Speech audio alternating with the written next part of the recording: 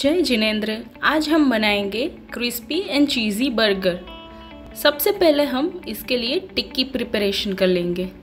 इसके लिए एक बोल में हम लेंगे 50 ग्राम जितना पनीर, दो बॉईल किए हुए कच्चे केले और इसको हमने स्मैश कर लिया है। फिर उसमें हम लेंगे बॉईल किए हुए हरे मटर के दाने। फिर उसमें डालेंगे चॉप की हुई ग्रीन चिली हींग, लाल मिर्च का पाउडर और सारे इंडियन स्पाइसेस जैसे कि आमचूर पाउडर, नमक, गरम मसाला या किचन किंग मसाला भी आप ले सकते हो।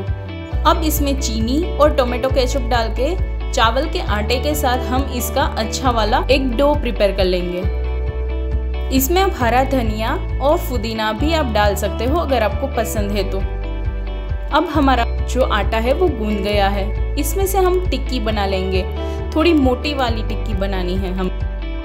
अब एक कढ़ाई में हम थोड़ा सा तेल ले लेंगे और इस टिक्की को दोनों साइड से अच्छे से क्रिस्पी हो जाए, तब तक इसे शैलो फ्राई कर लेंगे।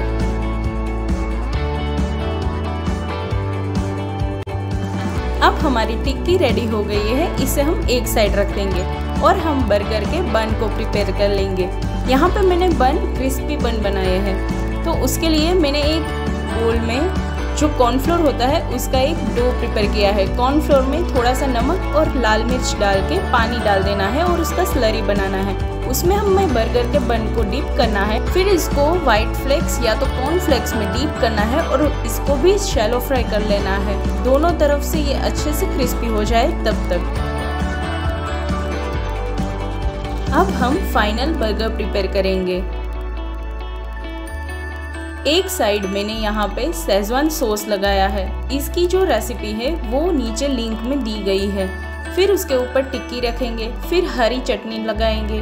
आप चाहे तो आप अपनी पसंद की कोई भी सॉस लगा सकते हो। फिर अपनी पसंद के वेजिटेबल्स रखेंगे, थोड़ा सा चाट मसाला वगैरह डालेंगे। और फिर इसके ऊपर चीज़ की स्लाइस रखेंगे। और दूसरी तरफ़ भी हम व्हाइट सॉस या सेजवान सॉस आपको जो भी पसंद है आप लगा सकते हो। व्हाइट सॉस और सेजवान सॉस की जो लिंक है, वो मैंने नीचे डिस्क्रिप्शन में दी हुई है। आप वहाँ से देख सकते हो। और इस तरह से हमारा ये जो बर्गर है, वो प्रिपेयर हो गया है सर्व करने के लिए।